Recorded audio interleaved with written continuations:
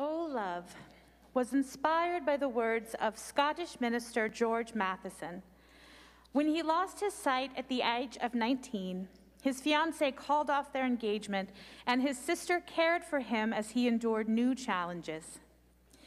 Years later, when his sister was planning her wedding, he faced the painful reminder of his own heartache and loss, and he wrote the words to this hymn. Elaine Hagenberg has given it a fresh melody and a beautiful setting for mixed choir. She uses lingering dissonances to remind us of the past heartache and hopeful ascending lines representing renewed faith. The beautiful promise remains that morn shall tearless be